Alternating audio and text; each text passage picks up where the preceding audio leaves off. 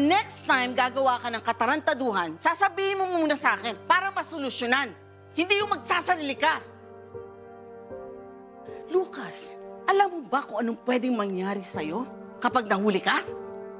Arson, 6 to 12 years imprisonment. Piloso po! Alam mo, kakabangon lang natin.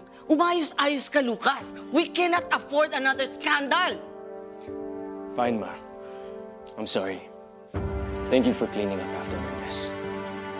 Huwag ka sa akin magpasalamat. Kay Melinda, nakalusot ka because she did the right thing. Lumapit siya sa akin. Otherwise, nilaglag ka na niya at sa pulis siya nagsumbong. But instead, sa ginawa niya, ikaw pa rin ang iniisip niya. That is what a real wife would do. Think about it.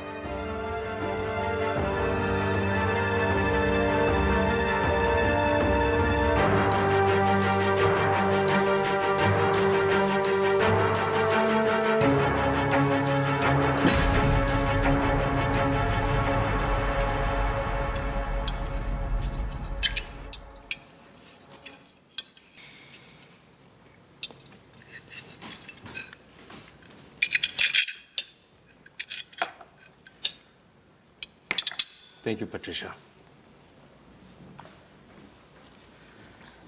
Freshly squeezed orange juice, just the way you like it. Anong meron? I'm just being nice. Sinabi sa akin ni Mama na dahil sa'yo nagawa niya... Kahit na may samaan tayo ng loob, hindi-hindi kita ilalagay sa alanganan. I hope you know that. Well, gusto ko pa rin bumawi. Hindi na kailangan, Lucas.